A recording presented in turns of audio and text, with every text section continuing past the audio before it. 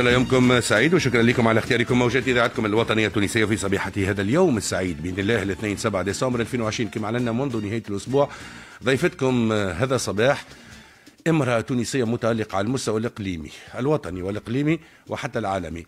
فيفري 2020 وقع تصنيفها من ضمن أهم النساء المؤثرات في العالم العربي والناجحات في العالم العربي إلى جانب جوائز متعددة أخرى تحصلت عليها النائبة حياة العمري شرفتنا لله يعيشك تحية ليك وشكرا على الاستضافة ولجميع مستمعي الإذاعة الوطنية.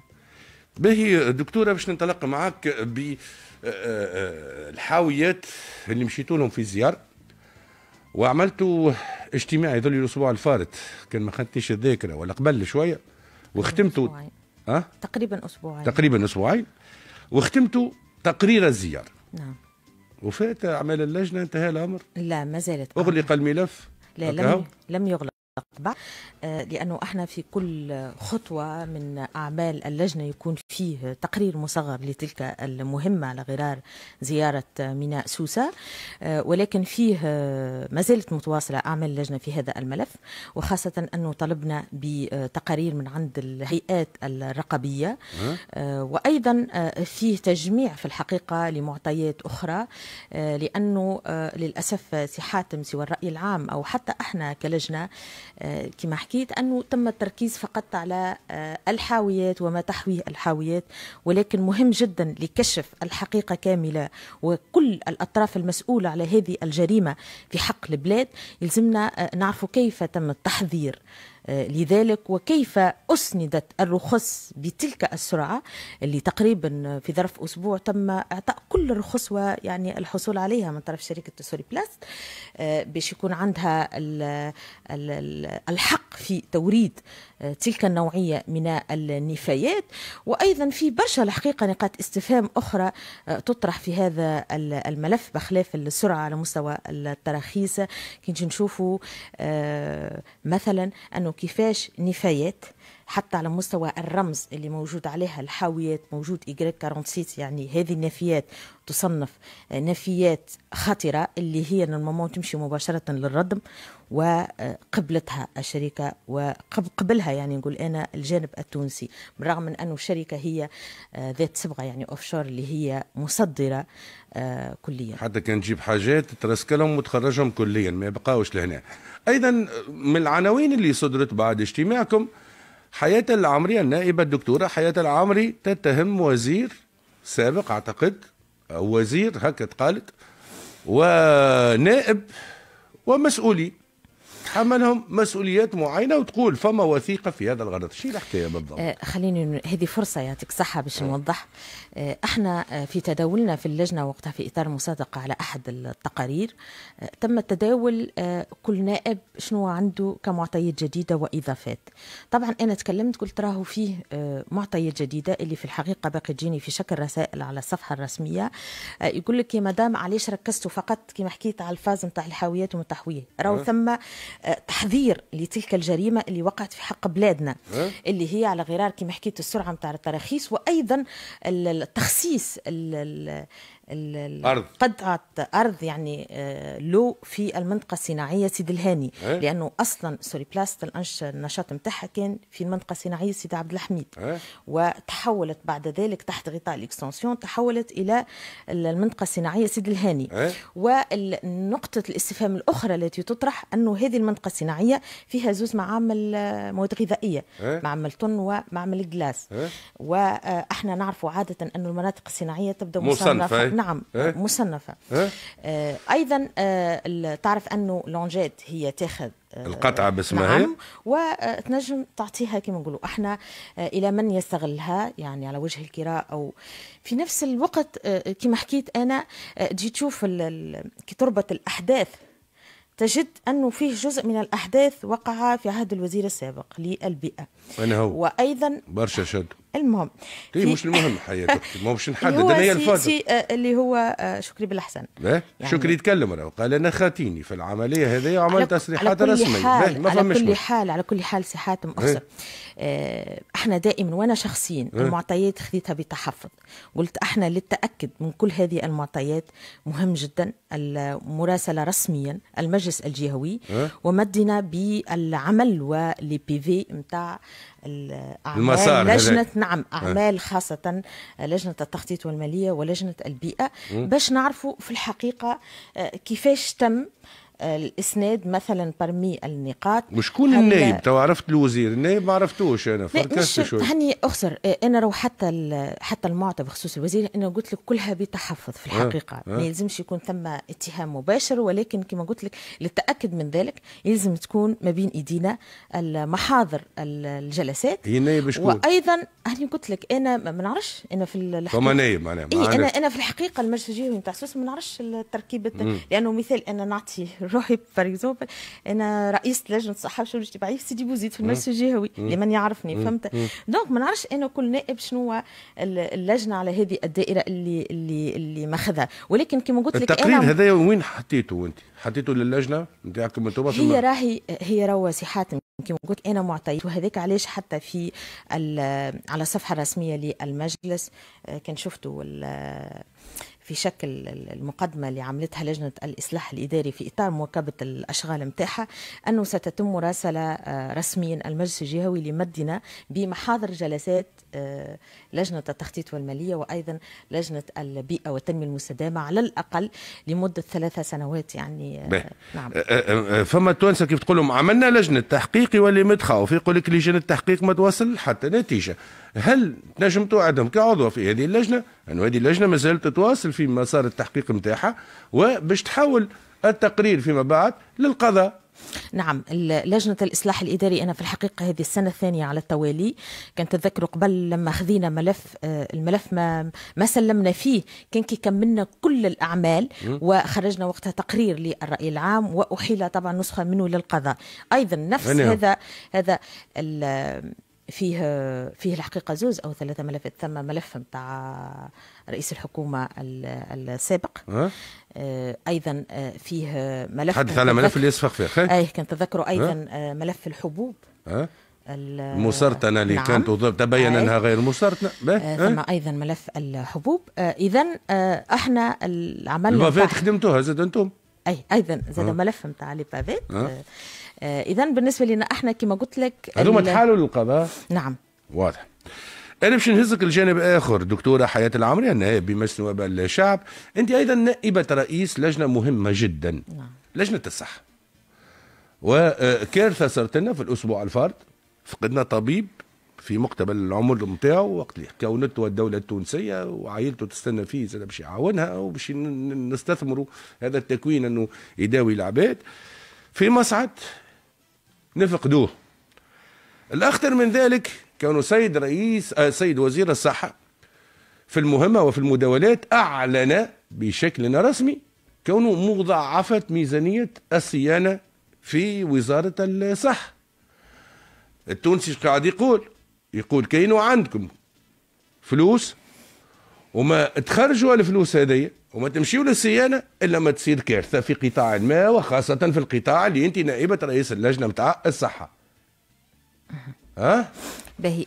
بالنسبة لنا إحنا تعرف إنه الدور لجنة الصحة والشؤون الاجتماعية الدور الأساسي هو الجانب التشريعي والدور الثاني هو الرقابي بالأساس. ولسنا وفي سلطة. وفي التشريع عندكم نعم. حتى باش تعملوا مبادرات وتعطيوا اقتراحات وتحسنوا في الميزانية نتاع الصيانة وغير ذلك. هكا ولا لا؟ حاول تسمح سي حاتم نوضح لك. آه اذا آه كما قلت لك آه أحنا هذا هذا يعني زوز أدوار رئيسية للجنة الصحة والشؤون الاجتماعية. ولكن المشكل الوضع اللي وصل له قطاع الصحة هو تأجيل دائما الإصلاحات. بخلاف تأجيل الإصلاحات نقصد لما نحكي على الإصلاحات يعني من غير المعقول أنه منذ 2012 إلى تقريبا منذ أشهر التالي آه، انتهى الحوار المجتمعي اللي كان الهدف متاعه إعادة هيكلة قطاع الصحة ووضع سياسة جديدة لقطاع الصحة. الهدف منها آه، هو آه، تقريب الخدمات الصحية وأنه فعلا يعني يتم تنزيل الفصل 38 من الدستور أنه فعلا يصبح كل مواطن عنده الحق في الصحة. وأيضا إعادة هيكلة القطاع ككل لأنه أنت تعرف أنه في ديزيكيليبر حتى ما بين الجهات في قطاع الصحة. ونقطة ثانية أنه شوف رغم ذلك هذا تم ولكن لم ينفذ. النقطة الثانية أنه مثلا إحنا في تونس تمت استراتيجية وطنية للجودة في قطاع الصحة. وهذه الاستراتيجية انتهت. وهذه شنو اللي تم فيها الاستراتيجية هذه؟ خذاو 48 طبيب. كل زوز طبة ممثلين على ولاية وتم تكوينهم. والهدف من ذلك هو آه أنه كل زوز طبة على كل جهة يرتبوا الأولويات في الجهة متاعهم ويشوفوا خاصة على مستوى جانب الجودة على غرار آه أنهم يفيقوا بالمشاكل في المستشفيات شنو اللي معطب شنو اللي ذات أولوية في الصيانة وهكذا. وبالرغم من ذلك أنه تكوين يعني جو حتى خبراء من من أوروبا اللي يكونوهم فهمت؟ نعم. وصار حتى حفل وتوزيع الشهادات ولكن السؤال الذي يسأل هل ه 48 طبيب هذم اللي تم تكوينهم. وينهم؟ هل باقين يقوموا بهذا الدور أو رجعوا إلى المهام الأصلية نتاعهم كأطباء؟ نعم أنا أنا أنا أنا هذا أنا هذا آه، سؤال آه، سي حاتم اللي اللي كما قلت لك إحنا في التفاعل مع الوزارة لأنه حط في بالك راهو مش كل ما تعملوا الوزارة أنه إحنا يوصلنا كلجنة. إحنا لما نسمع انه تم وضع استراتيجية الآن بقي نتسائلوا علاش ما تنفذتش هذه الاستراتيجية؟ آه فيه آه أيضا آه مشكل آخر في في قطاع الصحة. هو علاش المستشفيات توصل أنه أغلبيتها في وضع مالي صعب جدا؟ وأيضا تعرف أن المستشفيات بداية من مستشفى جهوي ومستشفى جامعي هي مستقله ماديا يعني مش يعني تكون هي عندها المداخيل نتاعها ال autonomie في نفس الوقت في ال autonomie هذه كي تشوف أنت هذه المستشفيات خاصة لما تكون موجودة في مناطق آه كما نقولوا إحنا آه داخلية. نعم مناطق داخلية أو شمال غربي أو المناطق اللي ما خذتش حظها. فعلا من سواء التنمية أو أيضا من في قطاع الصحة. جيتوف تشوف أنه أغلبية الناس المواطنين اللي اللي عالجوا طبعا باش يكونوا بالكارنيه الأبيض أو أه؟ ذات التسعيرة المنخفضة. أه؟ هذا طبيعي جدا باش تكون ميزانيات نتاع هذه المستشفيات ضعيفة. في نفس الوقت الناس المتعاقدة مع الكنام يكون العدد آه، يكون العدد صغير. ضعيف صغير. نورمالمون وزارة الصحة في الميزانية متاعها تكون ثم وضع خصوصية لهذه الجهات نقصد على مستوى ضرورة تدعيم هذه الجهات على مستوى نعرفوه دكتور الميزانيات. هذا نعم. تشخيص نعرفوه. والشعب التونسي كيف انتخبكم أنتم كنواب نتاعو أنتم باش تحل المشاكل هذيا وأنتم باش تلقاو الحلول وخاصة في لجنة مهمة كما لجنتكم أنتم لجنة الصحة والشؤون الاجتماعية وانت نائبة الرئيس. إحنا إحنا هاو هاو شنو مثلا عملين كحلول؟ الآن إن شاء الله عما قريب باش تسمعوا آه، باش يكون فيه نقاش آه، مهم حول آه، مشروع قانون المسؤولية الطبية وحقوق المرضى. مثلا أنتم تعرفوا منذ الحادثة اللي وقعت في 2015 بخصوص طبيب لما أخطأ تم إيقافه مباشرة. يقول لك يقول لك أنا يقول لك أنا الطبيب التدريب آه، آه، نورمالمون يكون فيه قانون باش باش يخلي آه، يقيم فعلا مدى ذلك الخطأ يعتبر خطأ. طبي وفي نفس الوقت لازمك تضمن حق المريض. هذا هذا ضمن القوانين المهمة اللي إحنا تمت يعني ناقشناه وإن شاء الله باش يتم نقاشه طبعا نعم تمرير الجلسه العامه ونقاش. فيه فيه نقطة ثانية أنه تقريبا إحنا منذ شهر أو شهر ونصف وصلتنا المخرجات نتاع الحوار المجتمعي اللي كما قلت لك فيه السياسة الوطنية لإعادة هيكلة قطاع الصحة. هذا إحنا باش نشوفوا كان وزارة الصحة عندها هي ديجا مبادرة آه، رسمية أنه حتى تكون الوثيقة هذه يعني لازم تكون اوفيسيال كوثيقة باش تنفذ وتصبح ملزمة من أي وزير كان كي يجي له وزارة الصحة ينفذها. وإلا إحنا كلجنة باش تكون عندنا مبادرة تشريعية في تنزيل ذلك في تنزيل هذه المخرجات وتكون في شكل آه، مبادرة آه، تشريعية. وفي نفس الوقت ما تنساش أنه آه، إحنا اللجنة بخلاف الجانب التشريعي فيه دور رقابي. مثلا إحنا خذينا الآن باقين يعني نوع من الضغط على مستوى الوزارة. قلنا لهم خذوا أنتم l'exemple اللي صار في 2018 على مستوى مستشفى حبيب ثامر. لما تمت رقمنة فقط circuit نتاع الأدوية. شنو مكن المستشفى ربح برشا حاجات نعم مكن أنه في الاقتصاد نعم و... 50% تقريبا 50% ماديا وحتى في الوقت. مهم جدا مهم مم. جدا.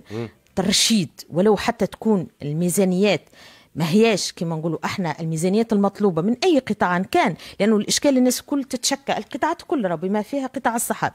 يقول لك أنا الميزانية شوية ولكن للأسف ولا واحد ورانا كيفاه الميزانية هذه باش يتم ترشيدها. هي الميزانية ما ولاتش شوية. ها وبعد الكارثة اللي صارت وفاة الطبيب سيد وزير الصحة قال باش نضاعفوا الميزانية نتاع لا راه مش راه مش يضاعف لا هي ميزانية وزارة الصحة باش تبقى نفس الميزانية. ولكن في ترتيب الأولويات. في ترتيب الأولويات. مثلا يا سيدي حتى في ترتيب الأولويات؟ نقولوا إحنا ميزانية ما رتب معناتها الأولوية للتضعيف في معناها ميزانية الصيانة إلا ما ماتنا طبيب. هذه يتحمل هو مسؤوليته واحد اثنين زاد أنتم كلجنه لهنا عندكم مسؤوليات. يعني قلت لجنة لك الصحة والشؤون الاجتماعية سيدة آه، النائبة. معناها آه، من الدور الرقابي وينه؟ وينه الدور اللي باش تفرضوا على هذه الوزارة؟ أنها تصلح ما يجب إصلاحه. صحة المواطن ولات بين يديكم أنتم أنتم اللي تمثلوه سيدة حياة العمري راهو. إحنا سي حاتم آه، لو اطلعتوا جيدا حتى على برنامج عمل الذي اقترحته لجنة الصحة والشؤون الاجتماعية واللي تمت المصادقة عليه.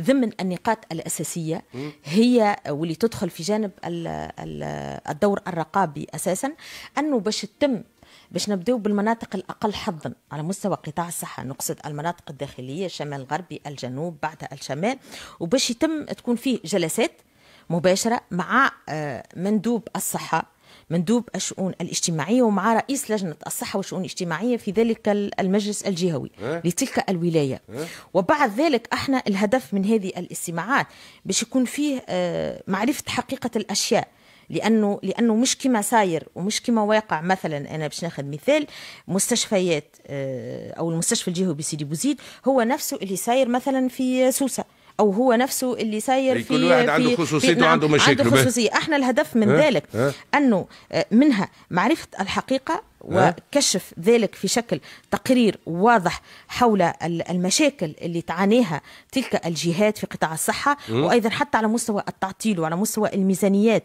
آه، لأنه ما تنساش راهو آه، شفت الجهات اللي إحنا ما بين قوسين نقولوا ديفافوريزي. راهو آه، صارت فيها برامج مهمة وإحداثات متاع أقسام جديدة وأقسام جامعية ولكن الإشكال بقات سامحني الإحداثات هذه في شكل حيوط باقيين يتفرجوا فيها. ما دخلتش حيز الاستغلال خاصة على مستوى أقسام اللي هي كما حكيت اللي على أساس ديسيني الاختصاصات حياتية ومهمة في تلك الجهات. وذلك علاش كما قلت لك إحنا هذه ضمن النقاط الأساسية في عمل اللجنة ومن بعد ذلك باش يكون فيه استماع مباشر أيضا لوزير الصحة والمديرين العامين المتداخلين باش نشوفوا كيفاش نحلوها هذه المشاكل على غرار كما حكيت مستوى مات الطبيب هذا العلوي؟ الله يرحمه. الله يرحمه. وأنا هذه مناسبة آه، بالحق يعني إن شاء الله ربي يرحمه. ونعزي آه، كل قطاع الصحة الحقيقة لأنه طبيب شاب وفي ذلك العمر لأنه الفاجعة هزتنا الناس الكل ليس فقط حتى زملائه ونعزي عائلته إن شاء الله ربي يرحمه. مات طبيب نسكروا الدوسي الآن وانتهى الأمر. هكاو علاش نسكروا الدوسي؟ آه. ليه؟ سي حاتم أنا آه، أنا شنو قلت لك؟ المشكلة أنه في كل قطاع هناك تراكمات. في كل قطاع بدون استثناء على غرار قطاع الصحة. ولكن آه، هل آه، كانت فيه بداية حقيقية للإصلاح وللوقوف على ذلك القطاع؟ لا. للأسف ديما فيه باش نسالك بعض الأسئلة باش نسالك بعض هل موافقة أنت أنه آه باش نعفيو أو نقيلوا بعض المسؤولين في القطاع الصحي في مستشفى جندوبة؟ وكها وعطينا كبش فداء وانتهى الأمر. أنا كنت ننتظر مثلا حالة طوارئ. تكون في مستشفى جندوبة بمشاركة كل الأطياف وكل المجتمع المدني واللجان الجهوية والنواب والناس الكل. ونخرج من غاديك نعملوا شي أسبوع شهر من زمان حاله طوارئ أنه نصلح ما يجب إصلاحه. التدخل السريع والفاعل. انه باش نحيو السيد هذا ونجيبوا السيد الآخر. القضية ماهيش في أشخاص حسب نعم. رأيي. ما نعرفش توافق هذا ولا لا. أتفق معك. نتفق معك. لأنه المشكلة كما حكيت أنت إحنا آآ آآ للأسف كي تسمع أي حادثة في أي قطاع. بما فيها شفت ملف النفايات اللي سألتني عليه قبيلة. مباشرة تم إقالة مدير عام الوكالة الوطنية. وهذا هو مثلا فهمت؟ والقضية مش في شخص لا لا لا إحنا أعمق إحنا نعم أعمق من ذلك. هي واقع قطاع الصحة في, في تلك الجهة. بالضبط. لأنه صحيح الله يرحمه الدكتور بدر الدين علوي ولكن آه تنجم تتكرر نفس الحادثة بالضبط. في تلك المستشفى. لكن ما تمش إصلاح المصاعد لكن ما تمش توفير المعدات لكن ما تمش توفير الضروريات لتلك المستشفى. أنا أتفق معك تماما. وهذاك علاش أنا ديما نقول راهو الأهم هو آه، ماذا يتحقق وماذا يتغير في تلك المؤسسة آه، حتى نتفادى أنه نفس الحادث يتكرر في تلك المؤسسة أو في مستشفيات أخرى في جهات أخرى. أنا دكتور آه، دكتورة حياة العمري باش نسلك بعض الأسئلة اللي يسألوها المواطنين. هل أنتم راضين كنخبة سياسية انتخبكم الشعب التونسي على ما يحدث في نواب الشعب أخسر سي حاتم آه، أنا صدقني بحكم هذه الدورة النيابية الثانية والحاجة اللي اللي نتأسف لها برشا. آه، أنه فيه بعض الأطراف اللي فقط تحب آه، يعني آه، الناس كلها تنساق في مربع المعارك الإيديولوجية أنا نقول معارك سبيانية اللي ما عندهاش سامحني آه، حتى بلوس أو حتى إضافة. ما ينفع الناس وما ينفع البلد. نورمالمون الناس تنقص من الجدل وتتوجه نحو العمل. مم. هذا مهم جدا. مم. ولكن كما قلت لك راهو شفت المشكل إحنا بالنسبة للرأي العام آه إذا نايب قال كلام أو صار ما نعرفش أنا عركة ما بين زوز نواب يحسبوا آه مجلس نواب الشعب كله كي من هكاك. لا راهو داخل مجلس نواب الشعب أنا ديما اللي قاعدين يتفرجوا فيه دكتورة حياة العمري اللي قاعد الصورة اللي قاعدة توصل هي هذه لا لا متاخسر آه، أنت شوف راهو الأهم سي حاتم وأنت آه، كإعلامي وعندك كلمتك في على مستوى الرأي العام راهو مهم جدا. تشوفوا ال bilan. نتاع إنتاج مجلس نواب الشعب. نقصد على مستوى القوانين المهمة اللي تمت المصادقة عليها على مستوى التقارير المهمة. هذا هذا الشعب التونسي؟ هذا المهم. ريت ال bilan تاع الإنتاج منعكس على واقعه المعيشي منعكس على حياته اليومية. لكن صراحة. لكن, لكن يا سي حاتم قاعد يموت قاعد يجوع قاعد ما عندوش غاز قاعد الفانا تتسكر قاعد هذا الكل. وش يقول المواطن التونسي دكتور حياة العمري أنه الصراع صراع على مناصب وكراسي بالنسبة للكتل البرلمانية والأحزاب الممثلة في مجلس نواب الشعب. وهذا حزام ووسادة والآخر معارضة وحسبة وهذا اللي قاعد يشوف فيه. ولكن ولكن سي حاتم لما تقول لي آه لم لم نرى ذلك آه، على مستوى التشريعات أو القوانين التي تتم المصادقة عليها. أنها تنعكس على الحياة اليومية. إحنا اللي يهمنا شنو؟ إحنا اللي يهمنا هو الجانب التشريعي كما حكيت لك بالأساس.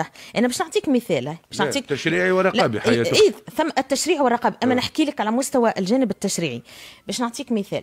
لو تتذكر الحادثة نتاع آه منطقة البلهدية معتمديه السباله كانت تتذكر وقتها منين مشات آه الضحية نتاعها 12 امراه عاملة في القطاع الفلاحي في سيارة. به. وتعرف أنه الناس ديما الكل بصفة عامة تتكلم والمرأة والمرأة العاملة في القطاع الفلاحي ولكن شكون اللي طرح وشكون آه، اللي قدم آه، قانون مهم جدا لحماية المرأة اللي عاملة في القطاع الفلاحي وأيضا آه، توفير النقل اللائق لتلك المرأة وحتى على مستوى ضمان حقها على مستوى أنها تكون أديرونت في الصندوق الوطني للضمان الاجتماعي. هو المبادرة التشريعية اللي إحنا قمنا بها. لكن لكن لكن مقابل ذلك. مقابل ذلك على أرض الواقع. على أرض الواقع. المرأة ما زالت تهز من سينزل ذلك؟ من سينزل من سينزل ذلك؟ من سينزل ذلك؟ هو السلطة التنفيذية. إحنا رو, رو كل سلطة عندها دورها. لا يعقل أنه مثال أنا نشرع نعمل قانون مهم جدا لحماية المرأة العاملة في القطاع الفلاحي. ونجي أنا هي اللي باش نخرج الأوامر الحكومية وأنا هي اللي اللي نفرض des ما نعرفش أنا شراء des minibus لنقل المرأة. يا حياة أنت نعم. بنت سيدي بوزيد. نعم. تحب سيدي بوزيد وإلى اليوم في سيدي بوزيد تنقل المرأة في ظروف تعيسة العاملة في القطاع الفلاحي؟ نسبة التغطية الاجتماعية تكاد تكون هزيلة جدا وظروفها صعبة جدا. نكمل لك الفكرة سي حاتم شفت, شفت أنا القانون؟ نعطيك un exemple شفت القانون هذا مثلا لحماية المرأة العاملة في القطاع الفلاحي؟ أنا مثلا قنعت مجموعة من الشباب على مستوى سيدي بوزيد أنه عوض استعمال تلك السيارة اللي هي سيارة لـ Isuzu اللي يتم نقل فيها النساء. قلت لهم مع بعضكم راكم تنجموا تشروا des minibus. وفي نفس الوقت القانون هذا يسمح لهم بخلاف نقل النساء. فك الوقت الفراغ أنه يتم آه كما نقولوا إحنا نقل التلاميذ أو بصفة عامة المواطنين أنهم إذا يمشوا للمدينة. شنو اللي صار؟ شنو اللي صار؟ تخيل أنت باقي أنا ننسق مع الولاية ومع الكاتب العام بالله أعطوهم هالترخيص. يقول لك لا راه وزارة النقل خرجت منشور الآن يمنع آه، إعطاء التراخيص لتنزيل ذلك القانون. اذا الإشكال وين؟ مم. الإشكال هل السلطة التنفيذية باقيه تنزل في تلك القوانين المهمة اللي تم المصادقة عليها في البرلمان أو لا؟ السلطة التنفيذية جاية من أرحامكم أنتم من عندكم أنتم كسياسيين منتخبين نظام برلماني معادل هو اللي يتحمل مسؤولياته في هذه العملية. لا سامحني السلطة التنفيذية إحنا صحيح آه، نصوتوا لها ولكن مش إحنا اللي نختاروا. مش, مش للظرف للظرف الخاص اللي صار لنا نعم. المرة هذه حكومة التكنوقراط بعد فشل الحزب الأول إيه في تكوين الوحده مش إحنا اللي نختاروا ولكن ولكن كما قلت لك. نسال بالخاتمة في خاتمة هذا اللقاء على جانب سياسي. قانون الماليه باش يتعدى؟ ما هوش يتعدى. أنتم كوساده كحزام حول آه، هشام حزام يا سيدي حول هشام ككتلة حركة النهضة وكتلة قلب تونس وكتلة ائتلاف الكرامة آه، باش تصوتوا لقانون المالية بالرغم من إطاحة 12 فصل اللي مختلين جدا على هذا القانون وعلى دستوريته هو راهو آه، حتى الفصول اللي طاحت في قانون المالية اللي تخص يعني 11 فصل الأحكام م. بالأساس هو آه، الهدف من ذلك هو الضغط على مستوى الحكومة أنه آه، فيه إجراءات مهمة يلزم تكون موجودة في هذا القانون. اللي هي مثلا آه، يلزم يكون فيه أنها تنقص على مستوى الدين الخارجي. لأنه إحنا الدين الخارجي في الفيرسيون اللي موجودة على أساس 16 ألف مليار. آه، ولكن آه، آه، إحنا قلنا بزوا انه ما تعرف فرق ما بين الدين الخارجي والدين الداخلي. ديما الداخلي يكون لك يعني أقل برشا على مستوى التأثير نقصد على مستوى عجز الميزانية. اذا فيه كما قلت لك توافقات الآن بخصوص مثلا هذه النقطة على مستوى التنقيص في الدين الخارجي وأيضا على مستوى الموارد أو الإجراءات الجبائية آه وأيضا على مستوى التعديل آه على مستوى منظومة الدعم الطاقي ومنظومة الموارد المواد الأساسية. حتى يتم كما قلت لك تعديل كامل للميزانية. عوض أنه بش يعني لأنه إحنا تو الميزانية المطروحة هي 52 فاصل ستة آه، مليار 52 آه، ألف فاصل ستة مليار دينار. كيف عندك 20 فاصل واحد أنت كتلة أجور. رزينا برشا. إحنا فواضحه العملية. نعم. باش تصوتوا. بإذن الله طبعا. هذا الاتفاق اللي صاير بين آه، لا بصفة عامة لا مش حتى الحزام. إحنا أه. رو باش نقول لك حاجة ما نتصورش آه، ثم واحد آه، نائب ما يهموش أنه يكون فيه مشروع قانون مهم بهذه القيمة اللي هو مشروع قانون الميزانية. ما يتمش التصويت عليه وخاصة لما تكون في إجراءات مهمة على غرار كما حكيت أنا سواء إجراءات اللي فعلا باش تخدم المواطن أو أيضا على مستوى العديد من الإجراءات الأخرى. كما حكيت أنا في إجراءات تتعلق بالإجراءات الجبائية أو أيضا على مستوى التنقيص في الدين الخارجي. ومقابل ذلك أنه نزيدوا شوية في الدين الداخلي حتى يتم نقص في عجز الميزانية اللي هو الآن 7.3 ثلاثة في هذا القانون. إحنا نبزوا أنه عوض سبعة فاصل ثلاثة لما لا أنه يصبح ستة فاصل. إن شاء الله إن شاء الله. شكرا لك دكتورة حياة العمري. شرفتنا بالحضور. رغم الالتزامات رغم الالتزامات اليومية معناها في المجلس نعم. مباشرة للمجلس نعم, للم... نعم. جلسة عامة. للمصادقة على الفصول نبدأ. فصول. نعم. شكرا لك يعطيك الصحة وإن شاء الله يومك سعيد. عايشك نهارك طيب.